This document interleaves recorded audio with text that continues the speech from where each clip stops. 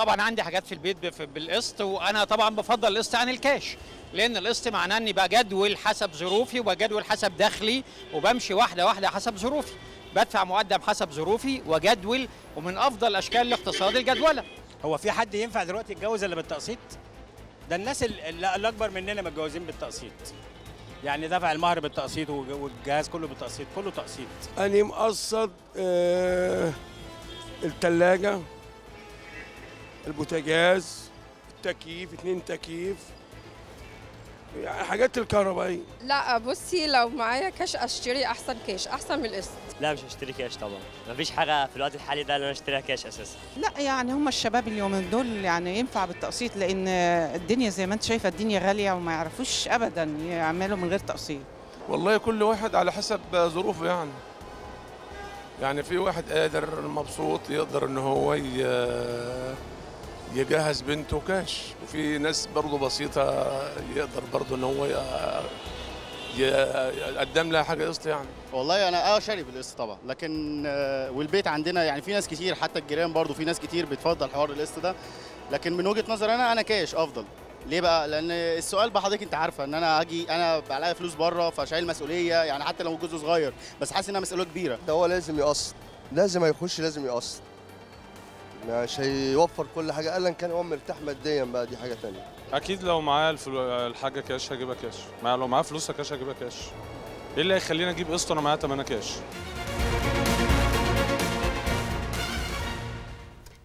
الكاش ولا القسط؟ لو أنا معايا 1000 جنيه وعايزه أشتري منتج ب 1000 جنيه أدفعهم ولا اقسط فوائد التقسيط وكمان أضراره. هنعرف ونفهم أكتر عن هذه المسألة ويمكن طبعا كل الناس دلوقتي بتتجه للتقسيط.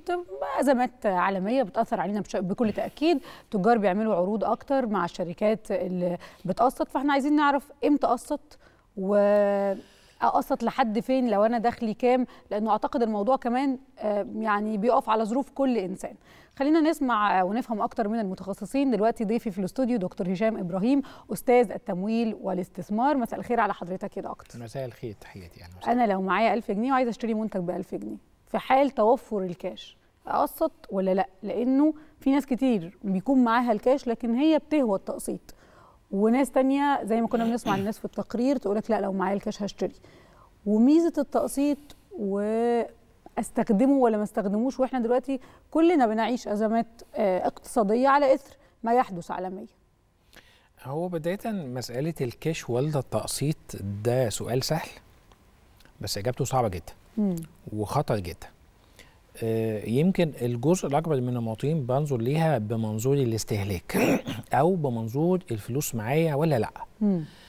لكن هو في الوقت اللي هو بيحصل فيه على سلعة بصرف النظر هي كاش ولا تقسيط. لو بنتحدث عن تقسيط يبقى في الحالة دي إحنا بنتحدث عن بجانب إنه خد سلعة هو خد تمويل. والتمويل ده ليه تكلفة مم. مهم إنه يبقى عارف تكلفة هذا التمويل كام والتكلفة دي آه، آه، موفرة يعني هيستفيد منها ولا هتبقى عبء عليه. المسألة التانية حتى الكاش كمان معناه إنه في تكلفة لأنه الفلوس أو الأموال الذاتية ليها تمن. المواطن العادي ما بيعرفش يحسبها كويس. لكن هو في النهاية إحنا بنتكلم على شق تمويلي اللي المواطن بيعمله في الشراء من خلال التقسيط. ده شق تمويلي زي ما رجل الأعمال بيروح يقترض من البنك عشان. يمول العملية الإنتاجية ده برضه شق تمويلي هنا يا دكتور انت قصدك إنه اقسط في احتياجات أساسية اقسط في حاجات مش رفاهيات. لا ما الفكرة مش أساسي أو ترفيهي حتى الآن. لكن أنا بتكلم على إنه فكرة التقسيط فكرة مهمة. ليه؟ لأنه إحنا إحنا الاقتصاديين معنيين بأمرين مهمين جدا. معنيين بتمويل العملية الإنتاجية مم. عشان قدر ما ينتج داخل المجتمع من سلع يتزايد وبالتالي ده هيبقى معناه مزيد من توافر السلع مزيد من التوظيف وخلق فرص عمل مزيد من توليد الدخول ده تمويل العملية الإنتاجية وفي ذات الوقت أيضا بنمول العملية الاستهلاكية من خلال منح تمويلات سواء كان لشركات اللي بتقوم بدورها بمنح هذه التمويلات على السلع أو البنوك ذاتها هي اللي بتمنح التمويلات على السلع ذاتها وبيتم التمويل من خلال البنوك. وبالتالي بص يا دكتور عشان انت عارف كلام الاقتصاد معقد صعب شوية هحاول. أبسطه. يعني أنا دلوقتي أما أروح أشتري منتج هو في موروثات كده تقول لك ناس مقتنعة بإنه لما أشتري بالتقسيط ده هيخليني أشتري المنتج بأرخص من ثمنه وناس تقول لأ أنت كده بتدفع فيه أكتر من ثمنه هو ما فيش إجابة قاطعة. على هذا الأمر. هو العبرة أنا بشتري بكام وتكلفة التمويل كام.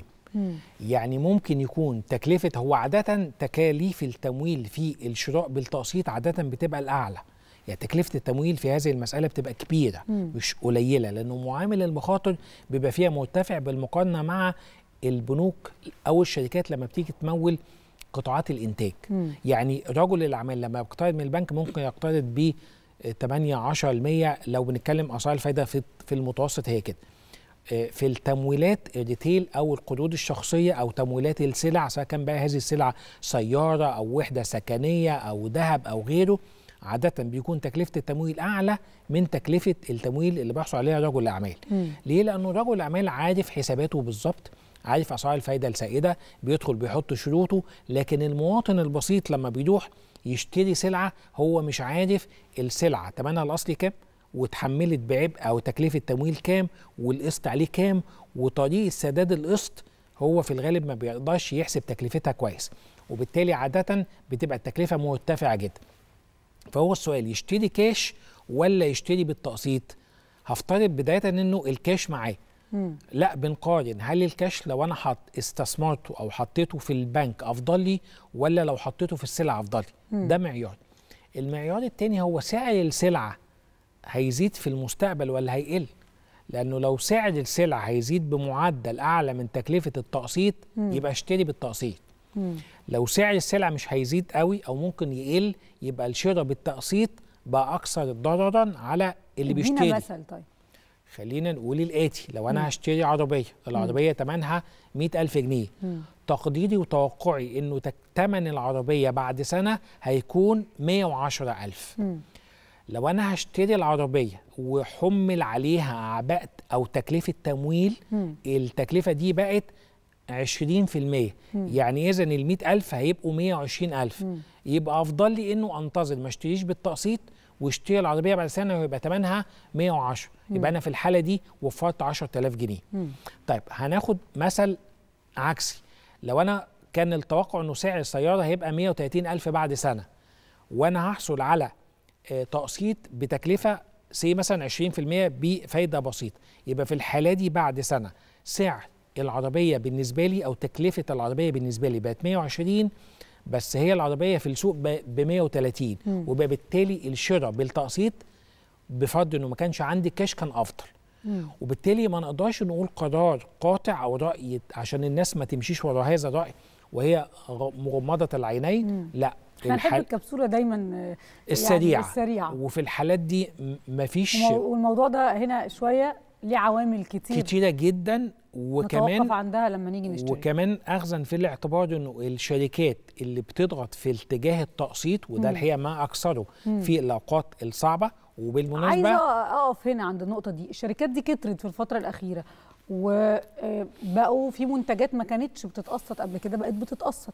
عايزين نسمع ليه؟ لكن خلينا دلوقتي نروح مع حضراتكم كمان نسمع رأي دكتور رانيا الماريه خبيرة الاقتصاد المجتمعي والتنمية البشرية عن موضوع التقسيط ونرجع نكمل الكلام مع دكتور هشام.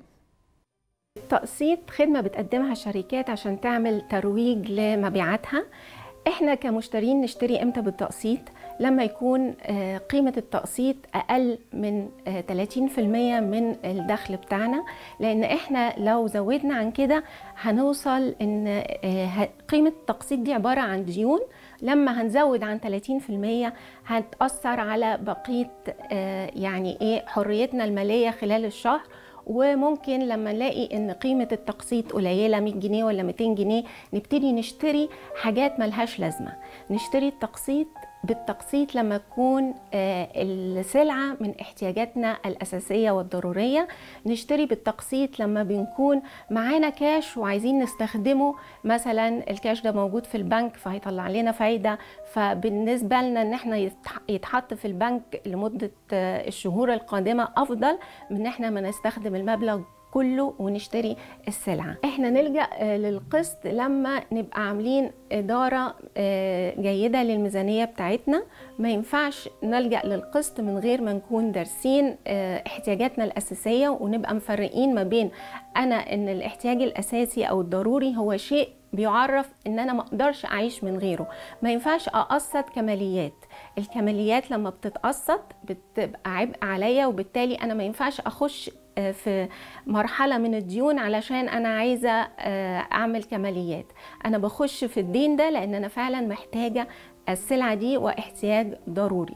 غير كده يبقى أنا بعمل إدارة غير جيدة وبفقد ال- التوازن المالي في حياتي. ولو أنا بشتري علشان آه، أسعد وأنبسط وحياتي تبقى أيسر بدخولي في الديون أنا مش بعمل كده. بالعكس الديون آه، بتوصلني للهموم ومش للهموم. بس لما بيحصل spontaneous buying أو الشراء العشوائي ممكن نوصل إن إحنا يعني آه، نبقى في حالة آه، قضائية مش ما نحبهاش لحد أبدا. وبالتالي آه، قبل ما نفكر إن إحنا نقسط نبقى عاملين إدارة جيدة كويس قوي لميزانيتنا ونبقى حاطين أولويات وعارفين احتياجاتنا الضرورية ونبتدي نتعلم إن إحنا بدل ما نبقى مستهلكين آه، من أجل الاستهلاك لا نتعلم إن إحنا نوظف أموالنا بطريقة سليمة وكل الفلوس تتحط في آه، موقعها السليم علشان في الآخر ده هيوفر لينا حياة آه، آمنة وسعيدة. هرجع مع حضراتكم لدكتور هشام. ويا دكتور كنا بنتكلم عن أنظمة التقسيط المختلفة اللي ظهرت مؤخرا والحاجات اللي ما كانتش بتتقسط بقت بتتقسط وبقينا بنشوف ده وده بيخلي الناس أحيانا تشتري حاجات هي مش عايزاها. وطبعا في شريحة كبيرة جدا جدا بتشتري اللي محتاجاه لأنه أنظمة التقسيط دي يعني بتساعد ناس كتير وبتنقذ ناس كتير وهي بتتجوز وهي وهي بتجهز حتى في الحياة العادية دلوقتي مع الأزمات الاقتصادية آه، اللي موجودة. هل إحنا عندنا إحصائيات لأرقام أو آه، أو لعدد المستخدمين للأنظمة الأنظمة التقسيطية الجديدة دي؟ آه، الحقيقة الأولى إنه نسبة من يلجؤون للتقسيط بيتزايد. ومعاها بيتزايد عدد الشركات أو المسوقين اللي بقوا يبيعوا من خلال أنظمة التقسيط. أيضا هذا الأمر بيتزايد. الدوافع من وجهة نظرك الأزمات الاقتصادية ولا؟ الأزمات الاقتصادية بالنسبة للمواطنين مم. بيجبرهم هذا الأمر على إن هو يشتري من خلال تقسيط. مم. وبالنسبة للشركات أمرين الأمر الأول هو مزيد من التسويق أو المبيعات. طبعا. والأمر الثاني الأكثر أهمية وخطورة هو إنه فكرة البيع بالتقسيط في الحالة دي هو آه، بيستعيد عن الحصول على آه، تمويلات من أطراف أخرى. يعني هو عادة هو آه، اللي بيبيع عادة هو حلقة وسيطة.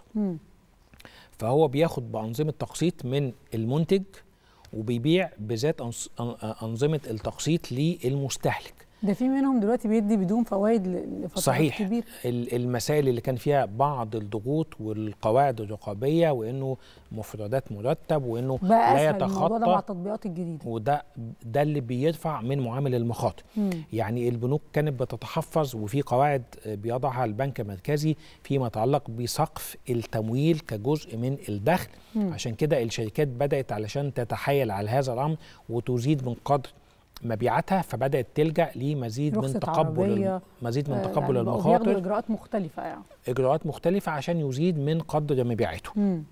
وبالمناسبة طب تأثير ده على الاقتصاد يا دكتور؟ خليني بس أشير لنقطة هامة للغاية إنه بقى في بعض الفترات الربح اللي بيأتي للبائع من أنظمة التقسيط بقت أكبر من الربح الربح اللي بيأتي للبائع من السلعه ذاتها. بمعنى إن هو ممكن يكون بيبيع أكتر يعني؟ لا هو ممكن يكون بيكسب في السلعة 10% مم. وبيكسب من أنظمة التقسيط اللي هو تمويل 20% مم. وبالتالي ده بيضاعف مكسبه وهو بيبقى مجبر إن هو يعمل كده علشان يزيد من حجم المبيعات مم. والأمر الثاني عشان يزيد من هامش الربح بالنسبة له مم. اخذا في الاعتبار إنه معامل المخاطر بالنسبة له بيزيد لأن هو بيتحايل على الأنظمة اللي بيضعها البنك المركزي أو القطاع المصرفي مم. وبالتالي آه، عشان كده زي ما حضرتك بتشيري إنه عدد الشركات بقى يتزايد آه، قدر التسهيلات بقى أعلى بكتير مم. وكمان إقبال المستهلكين بقى أكبر في ظل الازمات الاقتصادية وبالتالي ده آه، بالنسبة لنا مهم إنه يرفع أو يشير لجرس إنذار ليه لأنه لما كان القطاع المصرفي هو اللي بيتدخل في هذا الأمر بشكل كبير والبنك المركزي كمنظم ورقيب موجود فكانت المسألة في إطار المتابعة على مستوى المنظور الاقتصاد ككل. ليه؟ لأنه إحنا مهم إن أنظمة التقسيط تتزايد في بعض الفترات وتنخفض في بعض الفترات. وأنظمة التمويل لقطاعات الإنتاج تتزايد في بعض الفترات وتنخفض. بمعنى إيه؟ بمعنى إن أنا القطاع المصرفي إن هو الآلية الأساسية لتنشيط الاقتصاد بيمول المنتج عشان ينتج مم. وبيمول المستهلك عشان يستهلك مم. عشان مهم جدا إن الطرفين يتحركوا مع بعض. طيب في ظل ارتفاع معامل معدل التضخم موجة ارتفاع الأسعار العالية مم. فلما إحنا بنستسهل ونزيد من التمويلات للمستهلك مم. فإحنا بنزيد من موجة ارتفاع الأسعار مم. وده خطر على الاقتصاد ككل لأنه في هذه الحالة مهما كان ال- البنك المركزي بيرفع سعر الفايدة في ظل أنظمة التقسيط فما زالت القوة الشرائية والاستهلاكية مستمرة في الارتفاع فده ما بيهديش من موجة التضخم. وبالتالي موجة ارتفاع الأسعار بتستمر معانا يبقى ال ال ال المنظم يعني إحنا كأفراد بنساعد في مسألة زيادة الأسعار صحيح. ب ب ب بسياستنا الشرائية بالتقسيط كأفراد وكشركات بتلعب في هذا الأمر مم. أو بتستفيد من هذا الأمر انت عارف إحنا أول ما نلاقي عرض أي عروض المصريين نحب نحب العروض جدا واحيانا تغرينا العروض لحاجات ما بنبقاش محتاجينها خلينا نشير لمسألة آه، حدثت بالفعل آه، عام 2007 2008 لسنا بعيدين عن آه، هذا التاريخ تقريبا بنتكلم 13 14 سنة الأزمة المالية العالمية اللي. ضربت الاقتصاد العالمي ككل واللي كان مركز ثقلها أمريكا مم. كان سببها ده مم. كان سببها المورجج أو التمويل العقاري مم. اللي, تزايد بشدة صحيح. بقت حلقات تمويلية ليس لها أسس وبالتالي مش بس أثرت على المستهلك أو المنتج أو القطاع المصرفي أثرت على الاقتصاد العالمي ككل مم. وبالتالي هذه المسائل ما لم تؤخذ بمزيد من التقييم والدراسة مش بس بمنظور المواطن أو الفرد أو المستهلك مم. لكن كمان بمنظور المنتج والبائع والتاجر وبمنظور المؤسسات التنظيمية الرقابية داخل الاقتصاد مؤكد هيبقى في مشاكل طيب. كبيرة أخيرا يا دكتور هشام روجيتة حضرتك للشراء بالتقسيط أشتري إيه وأشتريه إزاي للأسر ويعني كمان ل يعني الافراد اللي بيتعاملوا في لأنه كتير نظام التقسيط بيبقى المنقذ الوحيد للموقف طيب هتفق في أمرين تحدثت عنهم آه، الضيفة الكريمة اللي كانت بتتحدث في مسألة دكتور إنه رانيا آه، رقم واحد ترتيب الأولويات مم. آه، رقم اتنين إنه مهم يبقى فيه سقف للتقسيط يعني مهم كمان قبل ما نتكلم على الشراء بالتقسيط نتكلم على توزيع منطقي للاستهلاك مم. توزيع منطقي للدخل يعني جزء للمأكل والمشرب جزء للملبس جزء للمسكن جزء للخدمات والرعاية الصحية جزء للترفيه وما إلى ذلك مهم جدا إنه آه، حب الشوبينج. وحب التقسيط أو الشراء آه، سلع حتى لو أساسية أصل أنا بدفع كاش بتوجع بحس بالفلوس. لكن طول ما أنا ب... ما- بدفعش كل الفلوس مرة واحدة ما باخدش بالي طب خلينا أوضح إنه الوجع بيكون أكبر في التقسيط. لأنه الكاش عادة تكلفته هي تكلفة الفايدة في القطاع المصرفي. اللي أنا سهل مم. لكن تكلفة التقسيط اللي في الغالب اتأخرت كمان في تسديد القسط بيبقى في ده غرامات. هو مبدئيا حتى وانت مل... حتى وانت ملتزمة مبدئيا الألم والوجع في حالة التقسيط بيبقى أعلى بس إحنا مش واخدين بالنا. زي المريض اللي عيان وهو مش واخد باله آه الأمر بيبقى صعب جدا في حالة لو في أزمة بقى أزمة اقتصادية أو. الظروف اللي إحنا بنمر بيها وعشان كده دوما نقول إنه حذاري من مزيد من الاستسهال في. التقسيط وقت ما بيبقى في ظروف ضاغطة على المجتمع ككل ككل لأنه الضغوط بتيجي مع بعضها في وقت واحد مم. إحنا كلنا عندنا ضغوط ممكن يكون في الظروف اللي إحنا فيها الدخل بيقل الأسعار بتزيد كان عليا التزامات في وقت الرخاء مستمرة معايا وقد تتزايد وقت وقت الأزمة، صحيح. وبالتالي ده اللي بيخلق مزيد من المشاكل مش بس بقى الاقتصادية لكن كمان الاجتماعية. وده الحقيقة أمر بيبقى ضاغط على الأسر على المجتمعات ككل لأنه بيبقى فيه عبء إحنا ما كناش حاسين بيه. أصبح هذا العبء ضاغط علينا فده أسبابه واضراره كبيرة جدا. ده قد يؤدي لانحراف قد يؤدي لفساد قد يؤدي لعلاقات أسرية متوترة وما إلى ذلك. مم. فحذاري جدا إنه هذه القرارات اللي هي في الأساس قرارات اقتصادية مهم جدا ان القرارات الاقتصادية تؤخذ بمزيد من الهدوء مزيد من التقييم والدراسة. المسألة قد تبدو إنها سهلة وبسيطة وتكلفتها مش حاسين بيها لكن واقع الأمر هي تكلفة كبيرة بس إحنا اللي مش عارفين آه، لا بنعطي الوقت الكافي في التقييم والدراسة. ولا بنتمهل عشان نفكر إلى أي مدى القرار اللي أنا باخده دلوقتي. ومتخيل إنه سهل قد يكون أضراره كبيرة جدا آه، في المستقبل آه، القريب. عظيم إحنا بنشكر حضرتك. شكرا جزيلا دكتور إبراهيم. هشام إبراهيم أستاذ التمويل والاستثمار بجامعة القاهرة شكرا جزيلا على وجودك معنا. تحياتي شكرا جزيلا.